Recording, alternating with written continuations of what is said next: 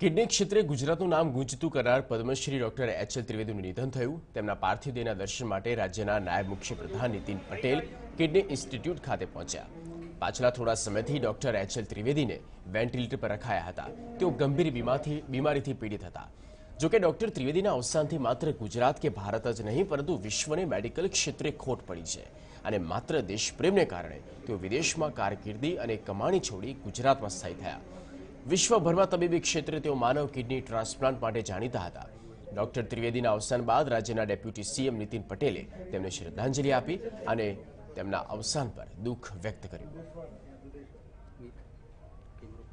સમૃદ્ધિ અને સંપત્તિ મેળવવાના બદલે એમણે આપણા ગુજરાતને, અમદાવાદને પસંદ કર્યું.